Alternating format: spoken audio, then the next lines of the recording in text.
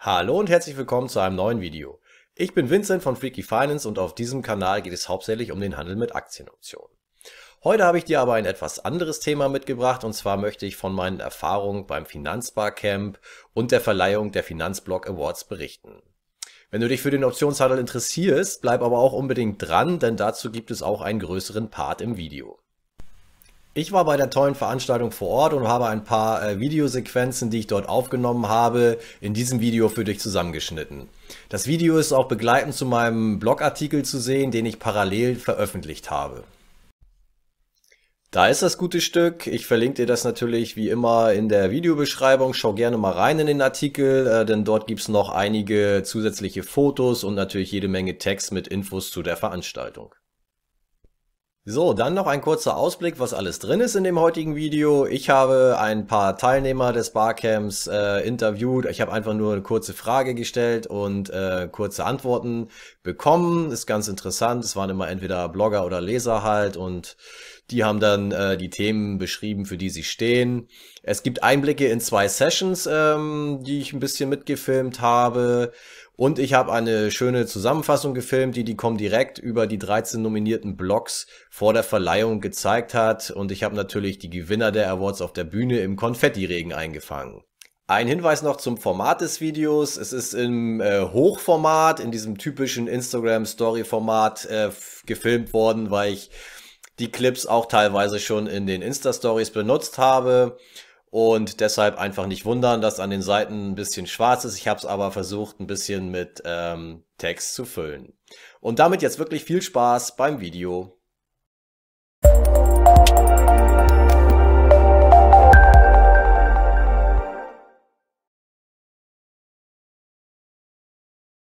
Im Barcamp äh, noch ein paar organisatorische Hinweise.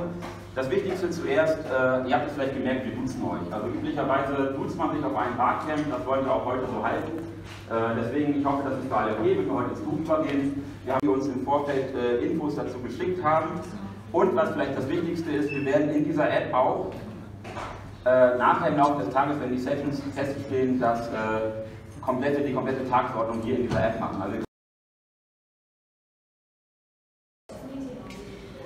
So, bist du Leser oder Blogger? Blogger. Und worum geht es auf deinem Blog und warum sollte man ihn lesen? Äh, Value Investing und Verzicht auf Konsum und unnötige Ausgaben, die man nicht braucht und äh, ja, finanzielle Freiheit. Cool, und wie heißt dein Blog? Tim Schäfer Media. Bist du Leser oder Blogger? Ich bin Leser. Und welchen Blog verfolgst du am liebsten? Äh, ich finde die Freiheitsmaschine gut, ich finde deinen Blog natürlich gut äh, und ich finde Gerd gut. Und welche Themen interessieren dich am meisten? Ach, angefangen bei finanzieller Freiheit, äh, aufgehört bei Entnahmestrategien, das ganze Spektrum. Hi, bist du Blogger oder Leser? Ich bin Blogger, ähm, Andreas ist mein Name, ich betreibe den Blog Generation Finanzen und du solltest den Blog lesen, weil Finanzplanung für Einsteiger ein wichtiges Thema ist, um Vermögensaufbau, Altersvorsorge und Finanzen in den Griff zu bekommen. Was ist ein Frugalist? Ein Frugalist, das ist jemand, der keinen Bock hat auf das Standardlebensmodell. 40 Jahre lang arbeiten gehen und dann am Wochenende das Geld wieder für Krempel rausgeben. Nee, das ist uns zu langweilig. Wir wollen halt ein spannenderes Leben führen und sparen ganz viel Geld, um nicht so viel arbeiten gehen zu müssen. Kann ich irgendwas basteln, um das zu umgehen? Kann ich vielleicht einen neuen Skill lernen? Also, gutes Beispiel wäre meine Freundin, ähm, die schneidet Kartoffeln, schält Kartoffeln immer mit dem Messer und ich immer mit so einem Sparschäler, weil ich mit dem Messer nicht richtig umgehen kann. Ähm, jetzt wäre zum Beispiel die Möglichkeit, wenn wir keinen Sparschäler hätten, ich könnte vielleicht auf Amazon gehen und einen bestellen, aber ich könnte einfach lernen, mit dem Messer das zu machen, das tun. Ähm, ist ein ganz einfaches Beispiel, aber wenn man das auf alle Lebensbereiche überträgt, ähm, geht es dann auch ein bisschen ähm, schon mal geben, äh, kaufe ich mir jetzt mal einen Porsche oder versuche ich erstmal ähm, Sport zu machen, um zu schauen, was ist denn eigentlich der Auslöser für mein, für mein, für mein Gefühl. Und ähm, mit diesem Konzept des Lichtkaufens erweitert man einfach eigentlich, also man schränkt sich gar nicht ein, das klingt ja so nach Einschränkung, nicht kaufen, aber eigentlich heißt es, dass man sein Repertoire im Leben, wie man mit dem Leben umgeht, erweitert in der Möglichkeiten, dass man äh, kreativ ist, dass man äh, seine sozialen Netzwerke nutzt, um äh, auch sich von Vorlieben verbinden, äh, anderen zu helfen, sich selber helfen zu lassen und so weiter. Und dass man so ein bisschen ähm, ähm, unabhängiger auch wird vom Format, von den Produkten und Dienstleistungen und eben äh, flexibler und ähm, ja, einfach mehr Möglichkeiten dann sich schafft. Und unterm Strich muss man dann viel weniger kaufen, weil man andere Möglichkeiten findet, Probleme zu lösen und spart dadurch Geld und gleichzeitig aber äh, kann man viel leichteres Leben schaffen. Das finde ich halt total interessant. Also man einfach nicht alles sofort versucht durch Kaufen zu lösen, sondern nachdenken, versucht das Problem selber zu lösen, andere Leute zu fragen, Hilfe zu bitten. Ähm, und das hilft mir halt ungemein dabei, gleichzeitig zu sparen und eben ja, besser zu leben. Bist du Blogger oder Leser? Beides. Welchen Blog betreibst du und warum sollte man ihn lesen? Geldschnurrbart.de äh, ist ein toller Blog, weil ähm, Da fällt ihm auch nichts mehr zu ein. Und welche Blogs liest du gerne und warum? es gibt einen Blog, der heißt millionär-blogspot.de oder sowas. Und der ist super cool, der hat nämlich seine Zahlen offengelegt und das hat mich so motiviert, dass ich auf Geldschnurrbart eben auch meine Zahlen offengelegt habe. Nicht um zu prahlen, sondern weil ich finde, nur so lernst du, indem man transparent sich austauscht. Projekt-millionär.blogspot, glaube ich. So ein Leidenschafts-Hobby-Blog, aber ich finde es toll, der macht's gut. Bist du Blogger oder Leser? Reiner Leser. Äh, welche Blogs liest du am liebsten und warum? Natürlich den Vincent. Äh, ansonsten Luis, Luis Pazos. Ähm, von Lars, Lars Robbel, die P2P-Geschichte lese ich total gerne. Oder höre ich eigentlich. Also ich muss zugeben, ich lese ganz wenige Blogs, sondern wenn die irgendwie ihre Sachen selbst nochmal einlesen, dann höre ich eigentlich immer deren Podcasts. Bist du Blogger oder Leser? Ich bin Blogger. Und worum geht's auf deinem Blog und wie heißt er? Geldchallenge.de geht um Optionshandel. Ich veröffentliche dort mein Trading-Logbuch. Mal so in die Runde. Weiß jeder, was Optionshandel ist, was dahinter steckt? Äh, Genau, fragen wir mal so. Wer hatte schon mal mit Optionshandel zu tun oder weiß in etwa, was wir hier überhaupt jetzt äh, vorne präsentieren? Wow, okay. Das sieht ja schon ganz gut aus. Also dann wäre jetzt die Gegenfrage, muss das jetzt nochmal äh, von Grund auf erklärt werden, was eine Option ist? Ja. Ja, nee, klar. Also ist ja nur, äh, möchtest du das sagen, was man mit der Option machen kann? Also bei der Option muss man ein bisschen unterscheiden zu dem Aktienhandel. Man ist auf beiden Seiten, auf beiden Seiten vertreten. Also ich kann sowohl auf der Seite, wenn, wenn ich, wenn ich eine, äh, das Gefühl habe, eine Aktie steigt, kann ich auf der Optionsseite sagen, okay, steige, ich kaufe die Option für eine steigende Aktie. Ich kann aber auch sagen, sie steigen und ich verkaufe die Option und sichere denjenigen den Preis ab. Und das gleiche geht auf der anderen Seite auch. Das ist jetzt sehr theoretisch, aber wir haben im Prinzip Long und Short auf der Long-Seite und wir haben Long und Short auf der Short-Seite. Mit einer Option, wie wir beide das handeln, machen wir Stillhaltergeschäfte. Das heißt, wir verkaufen die Option immer. Es ist immer ein direktes Geschäft, wo wir die, die Option verkaufen und im Prinzip Käufern, die ähm, diesen Wert dann im Prinzip handeln wollen, das Ganze absichern. Wir sichern Preise ab. Es wird immer so viel, so gerne gesagt, eine Option ist vergleichbar mit einem Versicherungsgeschäft, was im Einzelnen äh, durchaus annehmbar ist, aber was eben halt oft vergessen wird, eine Versicherung verkauft nicht eine Versicherung mit einem Unternehmer oder wie auch immer, also der, der einzelne Handel ist nicht vergleichbar mit einem Versicherungsgeschäft. Wenn ich aber 10, 20, 30, 40, 50, 100, 150 Optionen im Jahr handel, dann kommt das dem Versicherungsgeschäft sehr nahe, weil ich dann eben halt sehr viel äh, kleine Positionen auf dieses Geschäft anzeige. Dann bitte.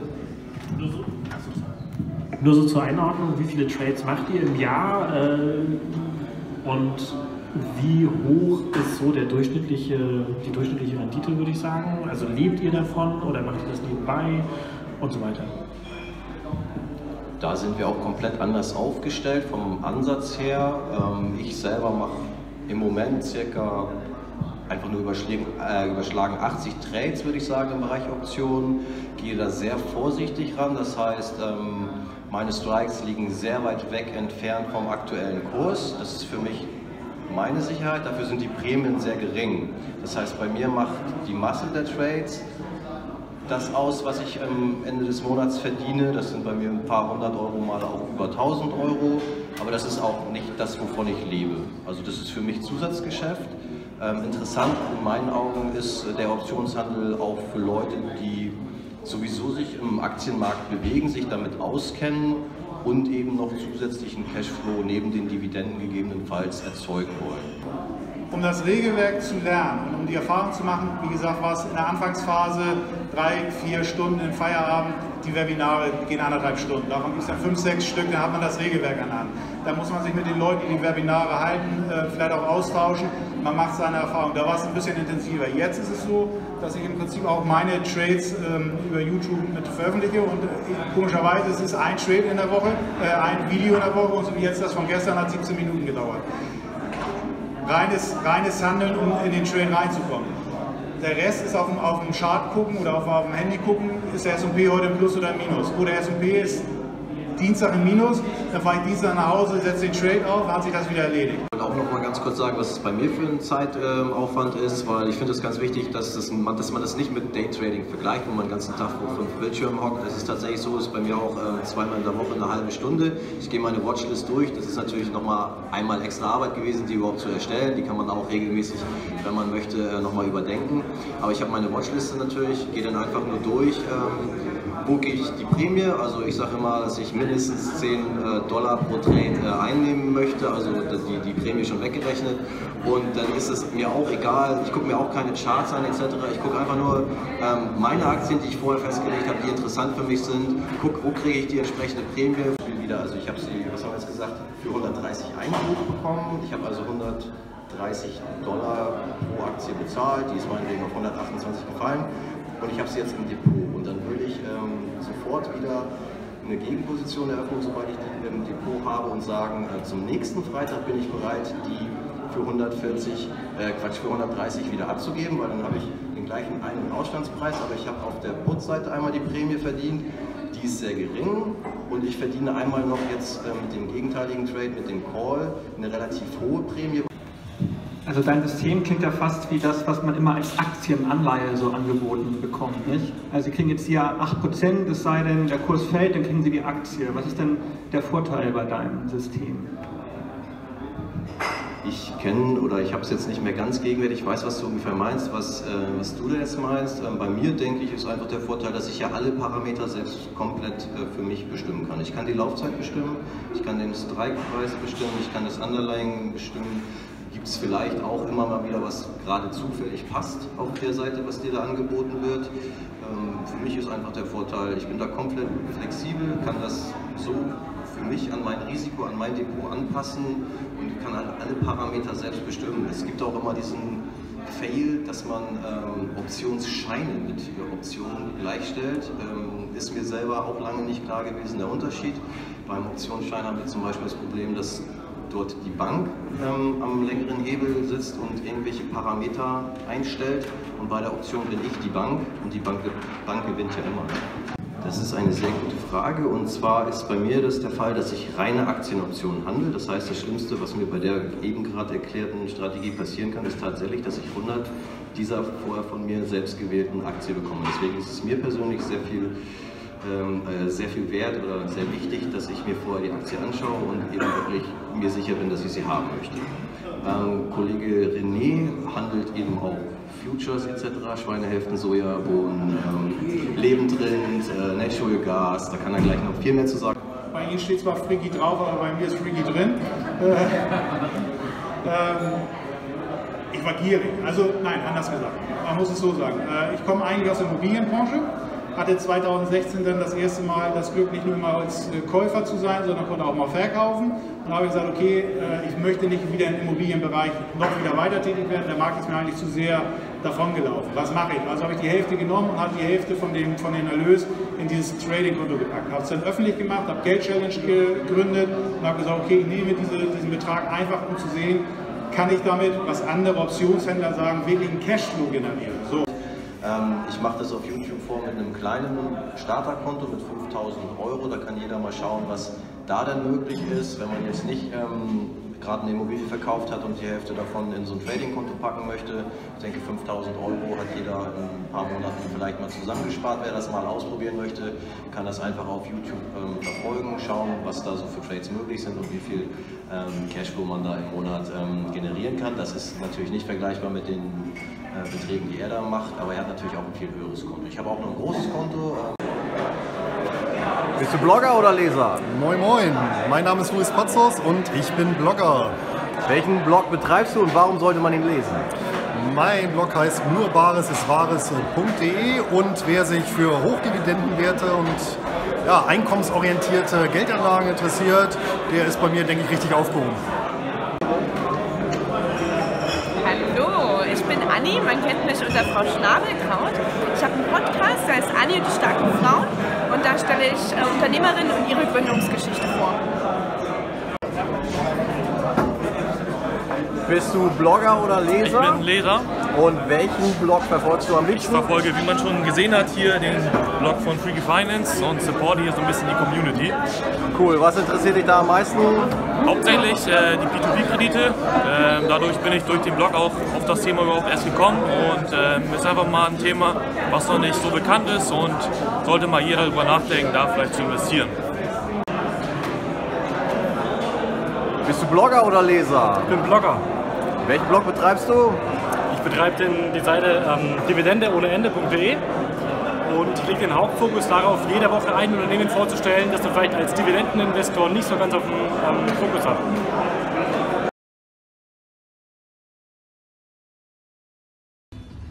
Auf Heller und Pfennig. Das Blogger-Ehepaar von Auf Heller und Pfennig muss wegen eines Studiums im Ausland hohe Schulden in Form von Studienkrediten abbauen. In ihrem sehr persönlichen Blog beschreiben sie ihre Strategie, um einen Weg aus den Schulden zu finden. Female Finance Forum.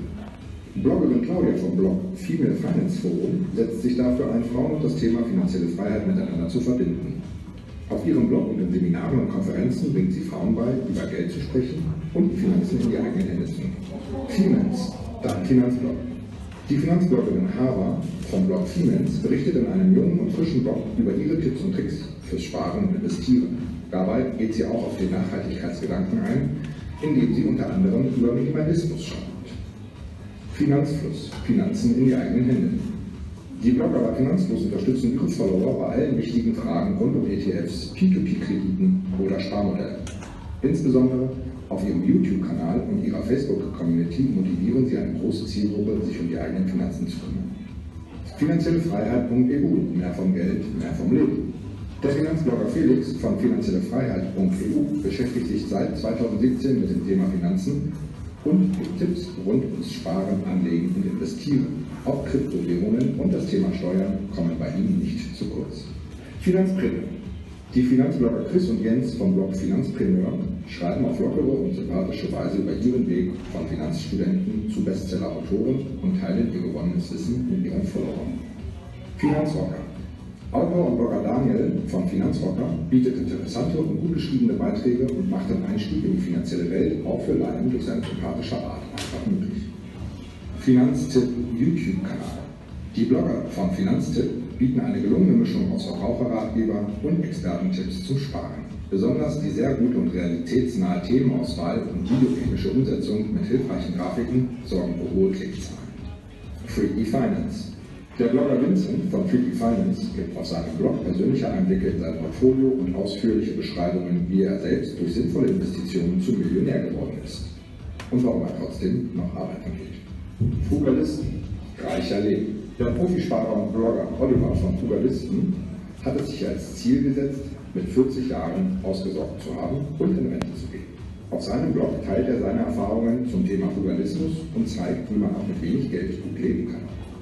Passives Einkommen mit P2P. Finanzblogger Lars von Passives Einkommen mit P2P hat sich auf diese Kreditform spezialisiert und bietet eine Wissensplattform, mit der sich die Follower langsam an die P2P-Investments herantasten können. Thomas, der Sparkoyote. Der Finanzblogger Thomas vom Blog Sparkoyote bietet ein breites Themenspektrum rund um Aktien, Business und Minimalismus. In seinen YouTube-Videos und über Instagram bietet er Einblicke in seine Anlagestrategie und seine Selbstständigkeit. Tim Schäfer Media. Blogger und Journalist Tim von Tim Schäfer Media berichtet regelmäßig von den Geschehnissen der New Yorker Wall Street. Auf seinem Blog nimmt er zur aktuellen Finanzentwicklung Stellung und gibt Tipps zum Thema Vermögensaufbau.